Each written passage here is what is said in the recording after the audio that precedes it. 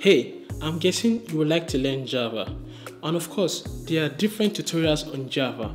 I'll be your captain in this Java journey. So in this course, I'm going to take you from the basics down and drive you through fundamental concepts in Java. When you're done with this course, you would have a strong background in modern Java. There are a lot of Java tutorials, but a lot are outdated. Java today is more powerful, more concise, and sweeter than the Java you know. So whether you're new to programming or you tried Java before and probably wasn't really nice, I'm here to tell you that this will be a great journey. And if you had issues before, try giving it a second chance, really.